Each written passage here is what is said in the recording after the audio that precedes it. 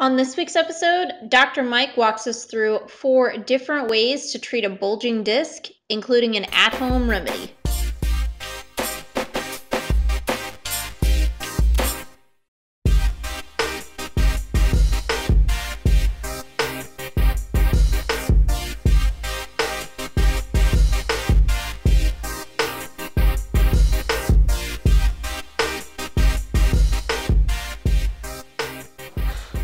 Hi, I'm Dr. Mike from the Springfield Wellness Center, and what we're talking about today is disc issues. And so, whether we're talking about the cervical or neck discs, or the lumbar or lower back discs, typical presentation for these can, can present in a, a, variety of fashions. One being just pain, you know, pain in those areas.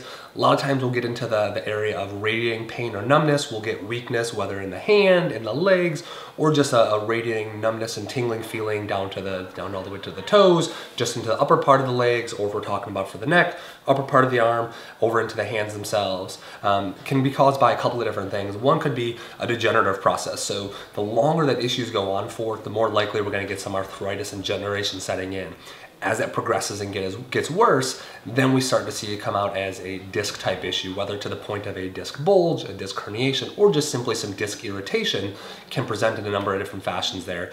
The other is going to be acute injury. So think about a, a really nasty car accident. Um, football player spears another player, head into their player, can cause some disc type issues. We see that a lot in the NFL and things like that. And what we're going to be talking about today are four different methods in which we here at the office will treat disc issues method we're going to talk about for treating disc issues is going to be the decompression or traction table. So a couple different names for it there. Spinal decompression or traction, they basically mean the exact same thing. It just depends on, you know, kind of who you're talking to more or less. But what we're doing with this table, whether it's for the lumbar spine or the cervical spine, is we're just stretching, gently stretching the joints of, of the spine. Like I said, whether being the neck or the lower back, it stretches to a certain portion relaxes back down and holds at that stretch. And so we're never actually taking any of the weight away from it, but we're always gonna have a little bit of stretch on the joint. And what we're trying to do is take some of the discus material that may be injured, irritated, inflamed, and pull it back into that normal disc place, removing that pressure from those nerves so that way we can get some relief start people off with this on a pretty light scale in terms of the amount of stretch, but there's always different levels that we can grow and, and, make it go higher and higher too. Same thing with the neck. We're hooking up around the neck and we're gently stretching the joints of the neck out to where we can once again remove pressure, take pressure off of those joints and off of those nerves to get the relief that they're looking for. Another therapy that we can use for treating disc issues is going to be our laser, our deep tissue laser. And so a lot of people have heard of therapeutic ultrasound. Therapeutic ultrasound uses sound waves to induce healing at that cellular level. What we're doing with laser is we're actually using light waves. So with that, we're getting a lot deeper penetration, therefore a significant increase in the amount of healing that we're going for. And so we're going to work on a, a lower back today, you know, talking along the realm of the lower back and, and disc issues. And so we're just going to kind of work in through the muscle tissue here. And as we're doing this, what you're going to be feeling is just a gentle warming sensation.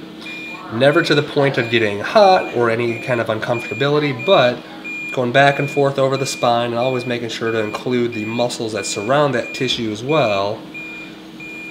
And just working in a couple of different patterns to make sure we're getting the full depth of penetration as well as the optimal healing effect. With this, this is one that you will feel a slight difference after just one visit. You'll feel kind of, like I said, that nice warming sensation. But typically, in addition to a chiropractic care plan, we'll set the patient up on a care plan individually for the laser sessions as well. The, the first and foremost method that we always will imply when we're talking about uh, disc issues, whether being for the neck or the lower back, is the chiropractic adjustment. And so uh, my patient here has already been worked up and already done an examination on her so I know kind of what her deal is. And so what I'm going to show you today is, is the adjustment process itself. And so speaking specifically to lumbar spine and cervical spine uh, disc issues, these are a couple different ways that we would, we would work, work the adjustment and do the adjustment to, to make that correction. So lay on your right side for me. So this is what we call a side posture adjustment. So there's a couple different ways that we can work with the lower back and person in, person dependent as well as injury and issue dependent. We'll, we'll employ a couple different ways of the adjustment itself. And so we're going to do adjustment here. All right, then laying it back. And we're also going to work with the neck here. And so with disc issues, what we'll do sometimes, depending on the location of the disc issue, we can actually limit the amount of rotation and rotational force that goes into the adjustment. So as opposed to a, a full rotary adjustment is what we call it, we can actually employ just a little bit more of a lateral direction. So as opposed to doing a full rotation with it to make that correction, we can just take some of that rotation out of it. Reason being is that sometimes rotation can irritate disc issues even further. And so we want to still make sure that we're making the correction without potentially aggravating that area up any further.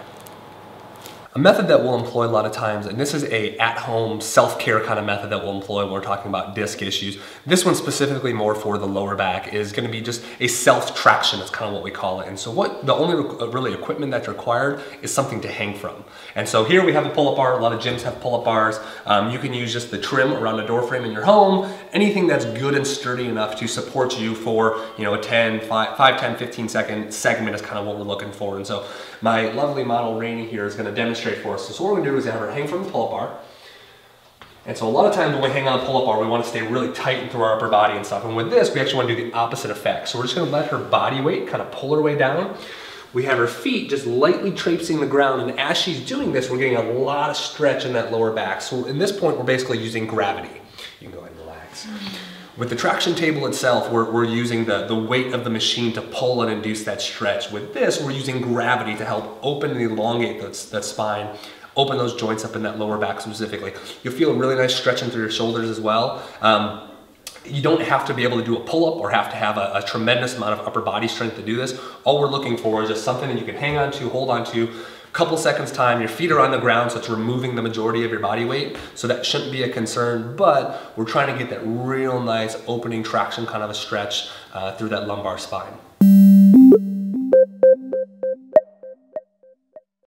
Hi, I'm Rainy. Welcome to the Fitbit of the Week. Uh, this week, I just want to go over the importance of a correct form of a lunge. So we've already talked about squats before, so um, that's why I'm going to show you how to do a lunge correctly. Um, and with here, or in here with my patients, we usually start with something called a split squat first before we do any other kind of lunges to make sure that they know how to do the form correctly. So that's what I'm gonna show you first, um, is a split squat. So if you feel like your balance is a little off, have a chair or something next to you to kind of like hang on to. Because um, what we're gonna do is we're gonna split our feet. So one in front, one in back, um, and you probably know what a lunge is already, so you have kind of an idea. But what you're gonna do is take your back knee towards the ground. So you're gonna be kind of in this position, and then you're just going straight back up. So for a split squat, your feet stay in the exact same place, and you're just moving down and up, down and up. But notice that my knee, or yeah, my knee is staying right above my foot, like this because I'm focusing on keeping my heel on the ground. If I don't focus on keeping that heel on the ground and I go up onto my toe, my knee goes forward. And anytime your knee goes over your toe, most likely you're gonna end up with a knee injury or something um, hurting in the knee area. So you wanna make sure you're keeping that uh, front heel down on the ground when you're doing these. All right, so make sure you do your amount of reps on one side, Try it on the other side.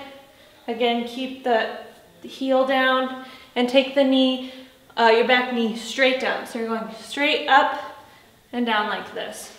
If you do have a chair nearby, try not to like force yourself up on it. Use the strength in your legs, not your arms. So once you've got the form down for those, you want to try doing like a forward lunge or a back lunge, uh, stationary. So you're gonna step forward, but still go straight down and then step back. So forward and then back together. Notice that I, because I am going forward, I'm not letting that momentum take my knee forward too. I'm still stepping forward, but going straight down. Again, same thing with a back lunge. You're gonna step back and go down, and then come back together. So I'm still just going straight up and down. I'm still keeping my front heel down for all of those. Then you can try a walking lunge. So this one is um, a little harder to focus on keeping that form correct because you are moving um, forward. So I'm gonna take that forward step go straight down, take the forward step, go straight down, forward step, straight down. Again, I'm keeping that heel flat on the ground, and I'm not letting the, the momentum take me forward. I'm still going straight down, and then up, and then switching. Like that. So hopefully that will help help you if maybe you've tried lunges before and then you gave up because it was giving you knee problems. Um, try that split squat first and see if that helps and then move on from there. So that's this week's Fitbit and we'll see you next time. Hopefully you found this video useful and you can find out more information on our website or our YouTube page. To submit a question, watch a past episode, or to find out more about the Springfield Wellness Center, check us out on Facebook, subscribe to our YouTube channel, or find us on Instagram, or check out our show website at wellnesslab.tv.